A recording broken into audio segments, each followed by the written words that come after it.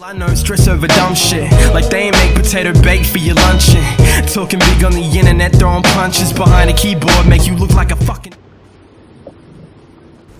Hey guys, Evazion HD here, and today I'm going to be showing you how to not get first infected on any map on Call of Duty Ghosts. So all you're going to want to do is when you come to this screen, you're not going to want to select your weapon yet, and as you see there is a match countdown. What you're going to want to do is wait for that to go, like, yeah, and now to come up with infected countdown. Now to not get first infected, all you got to do is just let this countdown get all the way down to the end. So someone gets selected as first infected and then you can spawn in. And you do not get kicked for inactivity at this stage. As you can I spawned in and I'm not first infected. Um, this works every time 100%. Um, it's great, you don't get kicked for inactivity at all. So yep.